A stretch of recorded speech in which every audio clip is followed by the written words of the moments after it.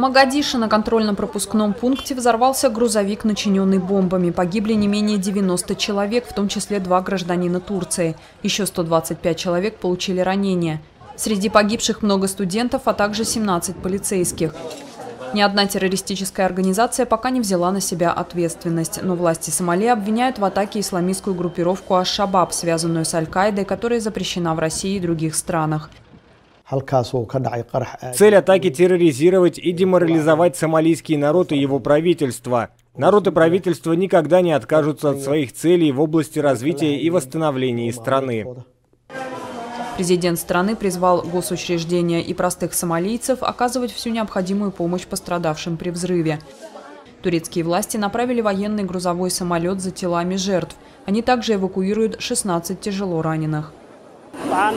Я поеду со своей раненой сестрой Марьяму Абдуллахи Мухаммед в Турцию, поскольку она серьезно пострадала во время взрыва. Я молюсь за всех раненых, чтобы они поправились. Выражаю соболезнования сомалийцам и турецким гражданам, которые потеряли своих близких в результате взрыва. Сожалею о гибели двух турецких инженеров, и мы надеемся, что 16 раненых, летящих в Турцию, быстро выздоровеют. Группировка «Аш-Шабаб» сформировалась в 2004 году и действует в основном на территории Сомали. Атака на КПП в Магадише стала самой смертоносной в Сомали за последние два года.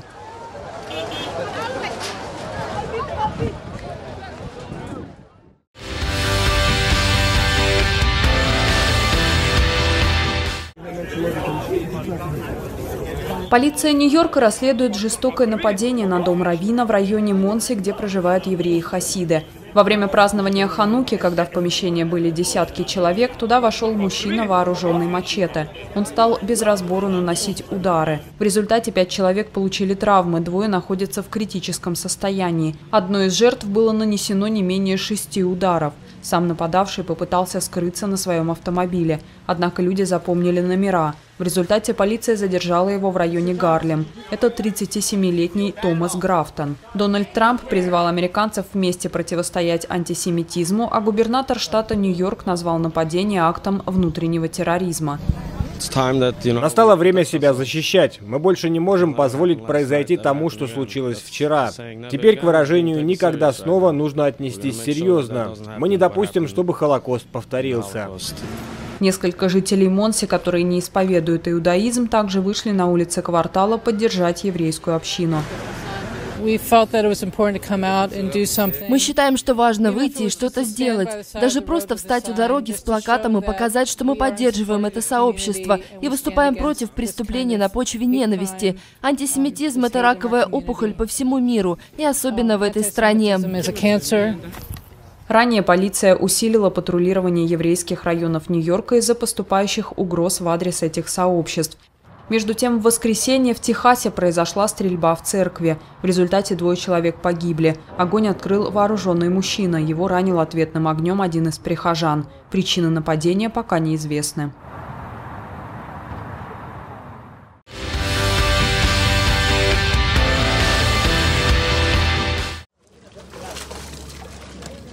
В результате наводнения в городе Кисуму на западе Кении пострадало более 6 тысяч семей. Об этом сообщают власти.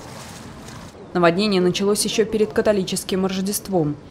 Многие местные жители говорят, что у них нет сухого места для сна. Они опасаются, что ситуация может усугубиться и просят о помощи. Как мне кормить детей? Всю нашу еду смыло, школьную обувь и книги детей тоже. Вот все мои вещи. Не знаю, куда теперь идти. Нам негде спать, нет даже палаток, нет питьевой воды, а у меня дети, которые учатся в колледже, средних и младших классах школы. Власти подготовили для людей временное убежище и предлагают другую помощь. Более шести тысяч семей пострадало, и власти округа организовали эвакуационный центр в средней школе Касагам. Мы призываем людей, которые серьезно пострадали, отправиться туда и получить помощь, которую предлагает правительство. Они предоставляют продукты питания, укрытие, одежду. Давайте не будем медлить. Из-за того, что воды Индийского океана потеплели, в Восточной Африке идут аномально сильные дожди. По данным благотворительной организации «Спасем детей», в 2019 году наводнения, оползни и циклоны убили более 1200 человек в Восточной и Южной Африке.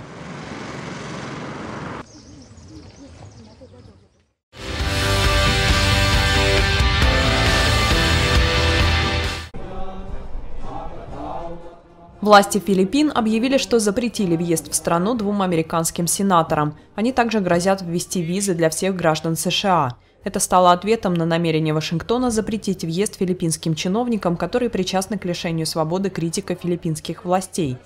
Демократические сенаторы Дик Дурбин из Иллинойса и Патрик Лихи из Вермонта включили меру в проект бюджета 2020 года. Согласно ей, санкции будут вводить в отношении всех, кто был вовлечен в арест и заключение в тюрьму филиппинского сенатора Лейлы де Лимы. Я уже говорила раньше, что у меня нет планов бежать от этих обвинений. У меня нет планов прятаться. Делиму задержали в начале 2017 года. Ее обвинили в получении денег от наркобаронов, когда она занимала должность министра юстиции с 2010 по 2015. Женщина заявляет, что ее преследуют по политическим мотивам. Она возглавляла расследование кровавой войны с наркоторговлей, которую проводит президент Родриго Дутерте.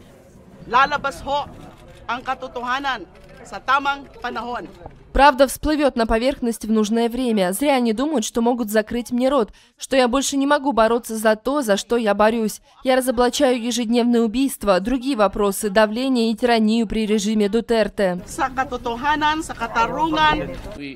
Положение позволит госсекретарю США Майку Помпео отказывать во въезде любым филиппинским чиновникам, если есть неопровержимые доказательства их причастности к задержанию Делимы.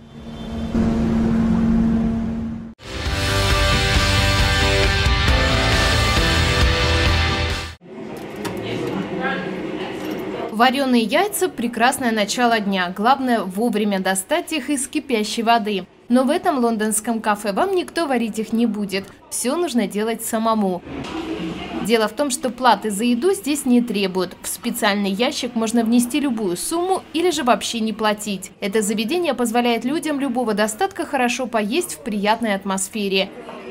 Меню ограничено. Яйца, тосты, джем, каша, а также кофе, чай и апельсиновый сок. Кроме того, посетители должны сами помыть за собой посуду и все убрать. Кафе уже пользуется популярностью. Мне нравится сюда приходить, потому что здесь приятно посидеть, пообщаться с людьми, поболтать, встретиться с кем-то, позавтракать. Я прихожу сюда выпить кофе и просто отдохнуть. Кафе открыто каждое утро 365 дней в году. В нем постоянно есть два администратора, а в целом здесь работает 12 человек. Когда сюда приходите, то нет ощущения, что вас жалеют. Мы не благотворительная организация, и здесь не ощущаешь, что пришел в такую организацию. Здесь просто царит дружелюбная атмосфера. Кафе не пользуется услугами волонтеров, всем работникам платят. Также оно не принимает пожертвований.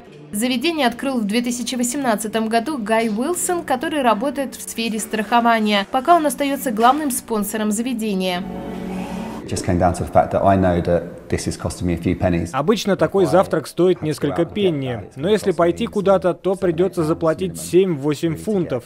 Я подумал, что все должно быть намного проще, поэтому решил позволить любому человеку достойно начинать утро.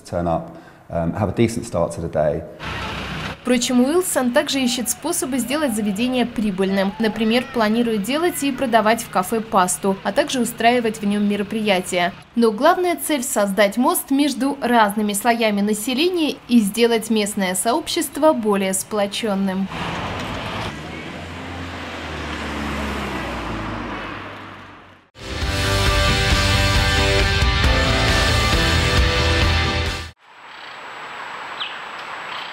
Этому ручью в лесу костариканской провинции Гуанакасте приходят пумы, муравьеды, тайры, оцелоты и многие другие дикие звери. За их жизнью наблюдают два американских биолога – супруги Винсент и Линдсей. Они устанавливают фотоловушки в разных уголках леса. Я многое узнал о природе в Гуанакасте, узнал, где лучше ставить фотоловушки. Это источники воды, плодоносящие деревья и тропы диких зверей. Супруги уехали из родной Пенсильвании в Коста-Рику 8 лет назад, а в декабре прошлого года запустили проект наблюдения за дикой природой в Гуанакасте. Они сняли уже 10 тысяч видеороликов, на которых запечатлены более 100 видов животных. Биологи показывают видеозаписи в местных школах. Хотят вдохновить юных костариканцев трепетнее относиться к природе. Узнал, где и как они живут, на кого охотятся, обо всем. Теперь понимаю, что нужно проявлять больше заботы, не засорять леса и не вредить местам обитания диких зверей. Школьникам также рассказывают о губительном вреде чрезмерной охоты и вырубки леса. Эти дети станут биологами, законодателями и инженерами. Им нужно знать, как важна природа. Мы должны принимать этого внимание. Если дети наполнят этим свои знания, научатся понимать животных, узнают, как их защищать и сосуществовать с ними, это принесет пользу в будущем. Винсент и Линци установили в лесах уже 40 фотоловушек. Они оснащены датчиками движения и света. Камеры не боятся дождя и выдерживают удары. Биологи намерены расширять проект, чтобы охватить больше заповедников Коста-Рики. Четверть территории этой центральноамериканской страны занимают охраняемые леса и национальные парки.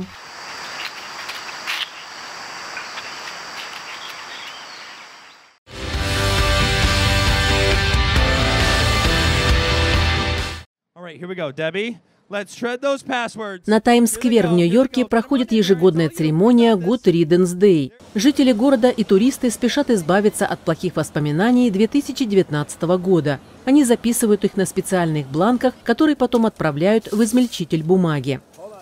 Мы прощаемся со всем тем, от чего хотим избавиться в 2019 году.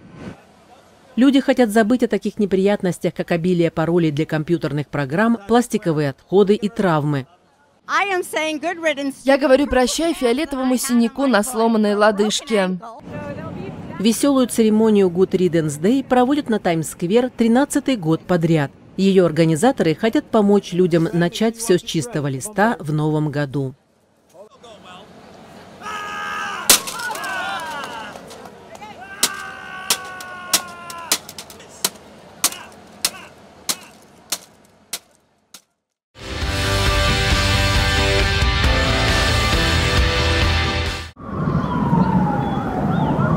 Пожар, который охватил бедный район чилийского портового города Вальпараиса в канун Рождества, оставил без домов не только людей, но и домашних животных. Группа ветеринаров организовала приют в местной школе, чтобы ухаживать за питомцами, получившими ожоги и другие повреждения.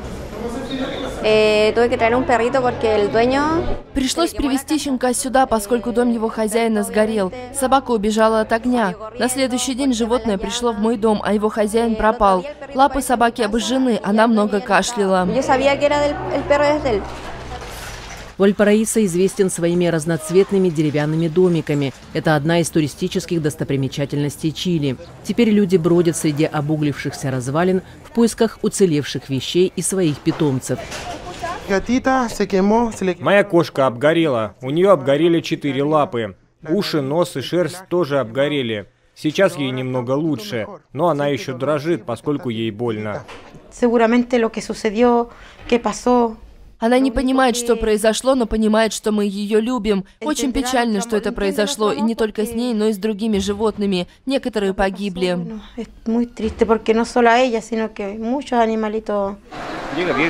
Пожар начался 24 декабря в лесистой местности на окраине города. Затем быстро распространился по побережью. Под контроль пламя взяли только спустя два дня. Оно успело уничтожить 245 домов и лишить крова более 700 человек.